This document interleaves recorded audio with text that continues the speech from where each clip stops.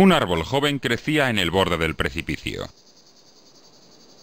Siglos de días calurosos y frías noches habían abierto una grieta en el borde del acantilado dentro de la roca activa.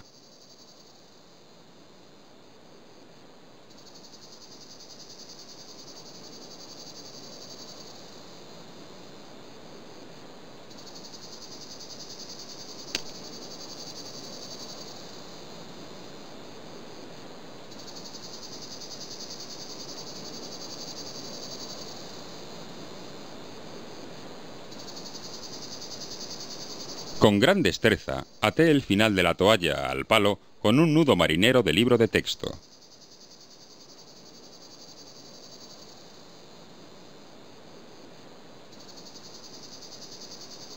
Pude ver que la grieta serviría bien como punto de anclaje.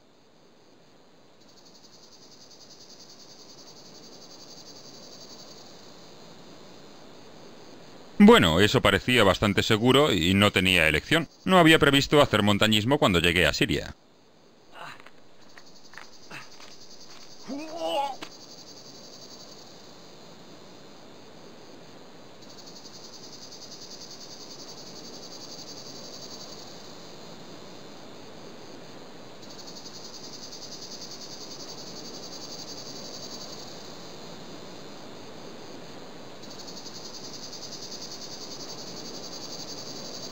De cerca la hendidura parecía, de alguna forma, artificial. No me seducía la idea de poner la mano ahí. Pero ahí había algo, una argolla de metal tan ancha como mi mano. Agarré fuertemente la argolla y tiré. Dios mío,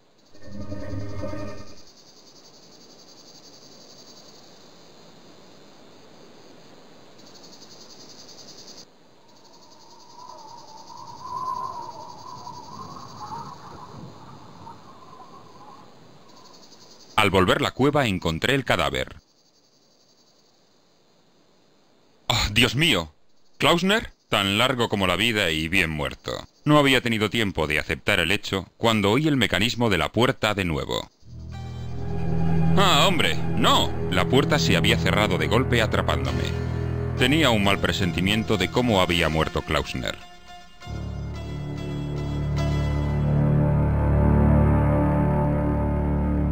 Una cabeza de piedra con tres caras barbudas. Era una imagen extraña, aunque poderosa, impregnada de antigüedad y misterios antiguos. Aunque era muy fea. Vale, está bien. ¡Ey! ¿Qué es esto? He encontrado una clase de lentes. Unas lentes muy antiguas hechas de cristal muy duro. Ya estaba bien. El caballero del manuscrito había tenido en su mano las lentes todo el tiempo, no una bola de cristal.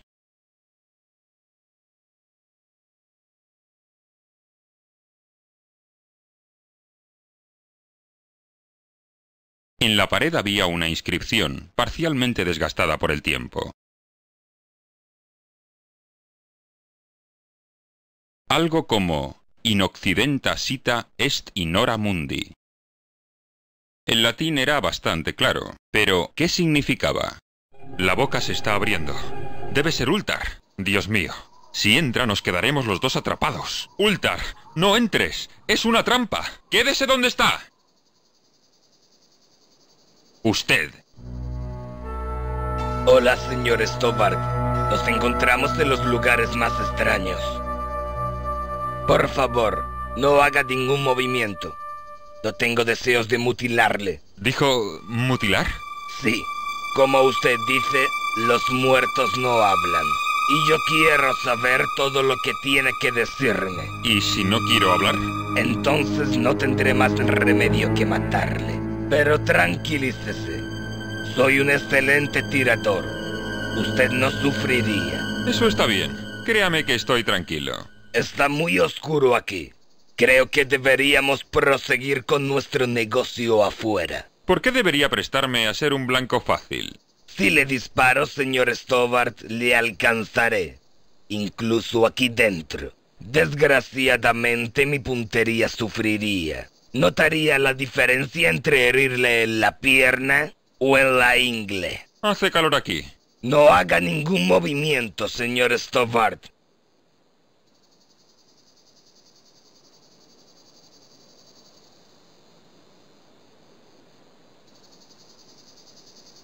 Ahora por dónde empezamos. ¿Qué tal si nos hacemos amigos y guarda la pistola? Klausner, ¿sabe dónde está?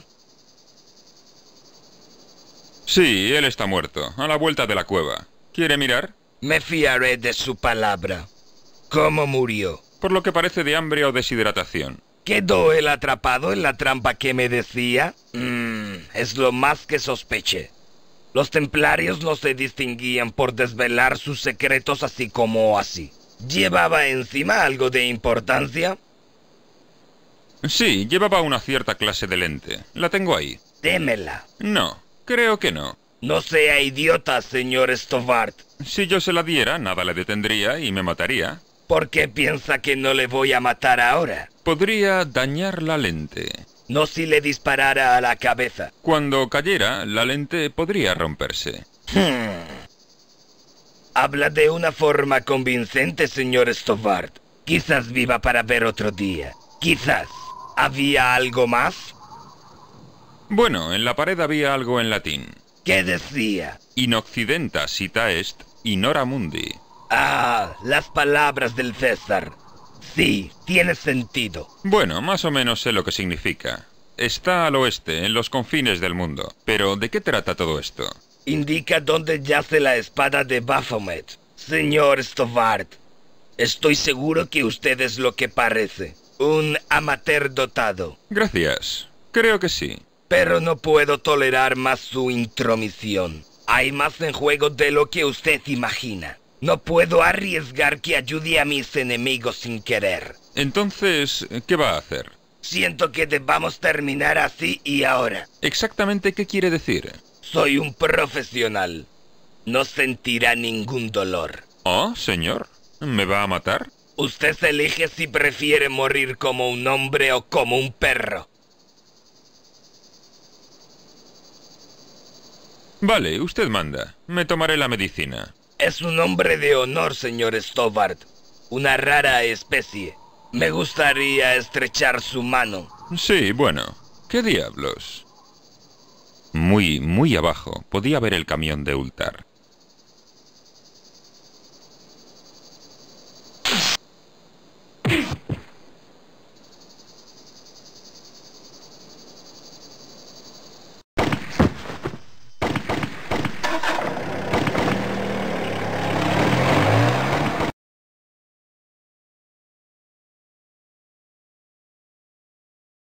Afortunadamente, el techo del camión de Yultar paró mi caída. Gracias al cielo.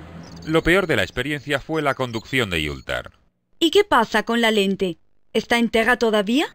Ah, sí. Bueno, me alegro de verte de nuevo, George. De verdad, debo decir que Siria me habría gustado mucho más si tú hubieras estado allí. No te habría servido de mucha ayuda. De todas formas, lo hiciste muy bien tú solo. ¿Tienes alguna idea sobre para qué se puede usar esta lente? Para agrandar, obviamente. Este es el cáliz que descubrí en España. Todavía no me explico por qué te lo dio la condesa. Después de tenerlo perdido todos estos años, se lo da un completo desconocido. Le falta una gamba para hacer una paella. La condesa es una buena mujer. No deberías compararla con el marisco. No me sorprendería que hubiera algo entre tú y esa condesa. ¿Hablas en serio? Por la edad que tiene podría ser mi abuela. Volveré en cuanto pueda. Ok.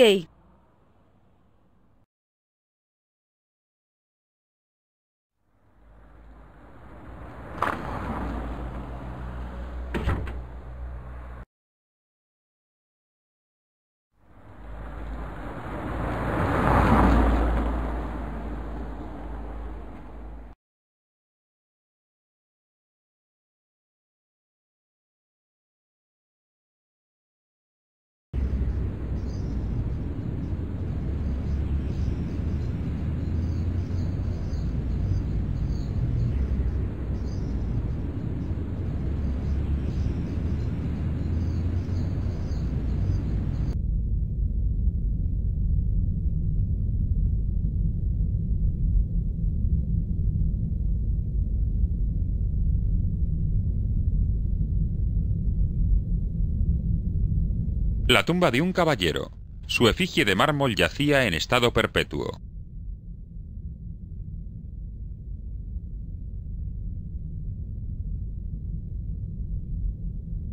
Una fila de bancos antiguos, maravillosamente tallados y con un barniz brillante. Pensé en toda la gente que se había sentado a lo largo de décadas. Aquellos traseros parisinos, los traseros firmes de jóvenes damas, la carne flácida de los viejos. No era una imagen agradable, así que volví a las damas. ¡Guau!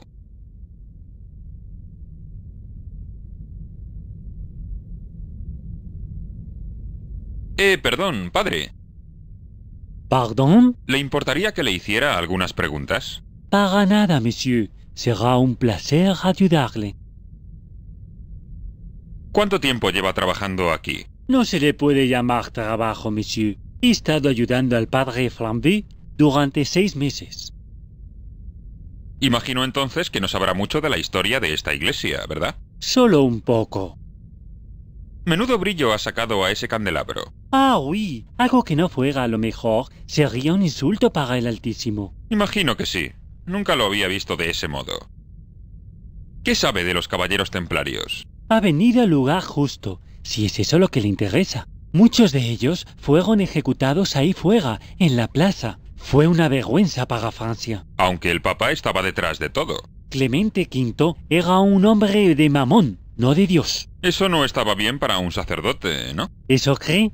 Es difícil estar seguro que sucedió. Fue hace tanto tiempo. ¿Qué piensa de este cáliz? Verdaderamente parece muy antiguo. Tanto como la iglesia, creo. No parece que haya una inscripción en él. ¿Sí? ¿Qué dice? No lo sé. Está muy oxidada. Con su permiso. ¿Quiere que la limpie? Le prometo que tendré cuidado. Se lo agradezco muchísimo. No me llevará mucho. Siéntase libre para mirar. Vale, gracias.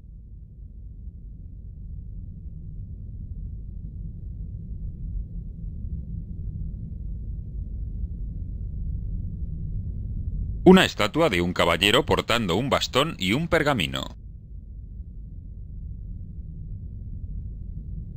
Un caballero de piedra yacía al final de una fila de cuatro.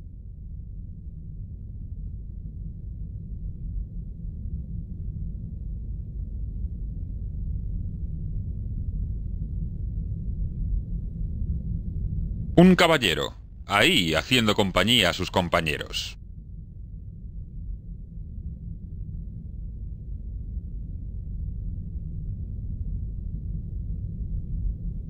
Una enorme ventana de vidrieras formaba una magnífica pieza central para las contiguas.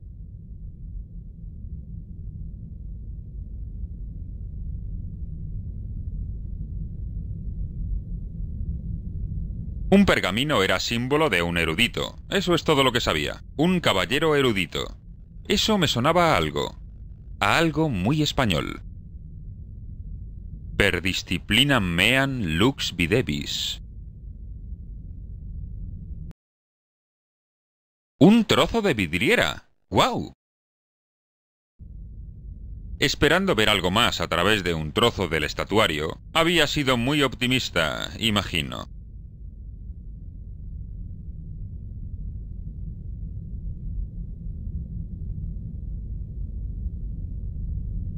La lente encajaba en el extremo del pergamino como un guante. ¡Hey!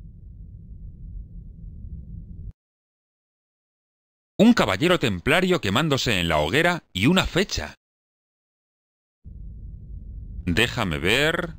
MCCCXIV.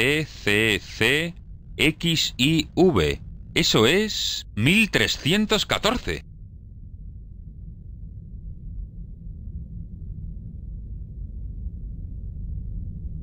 Hola de nuevo, padre. Hey, gracias. De nada, monsieur. ¿Qué era la inscripción del cáliz?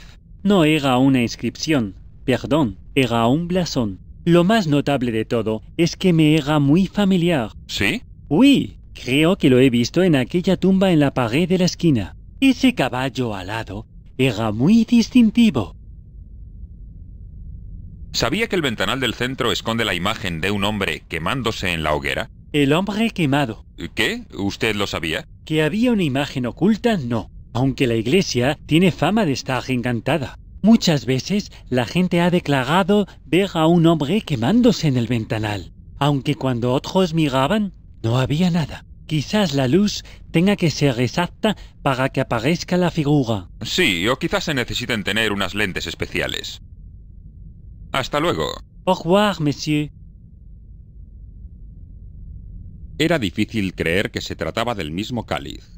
Ahora la luz destellaba en su superficie perfecta.